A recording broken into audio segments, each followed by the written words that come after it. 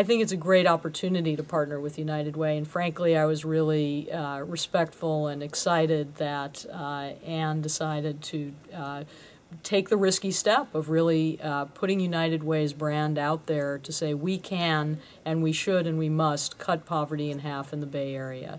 Uh, and I think uh, the only way we're really going to make that happen is by doing it together.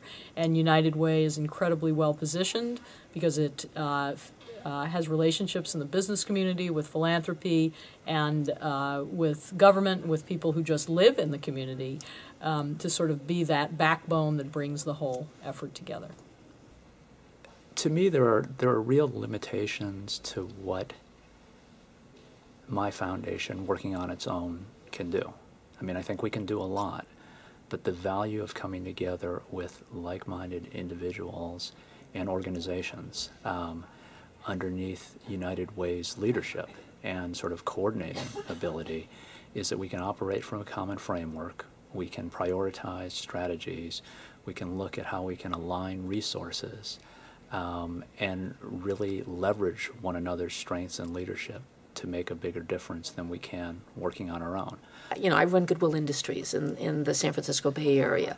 So we do two things. We care about job creation and skills building, as well as we care about building social enterprises and building new enterprise and linking to the marketplace, linking to businesses out there. So we're going to bring everything. We're going to bring the million plus shoppers that we have to the table to say, engage in a conversation around this. We're going to bring the million plus material donors and say, let's engage in this conversation.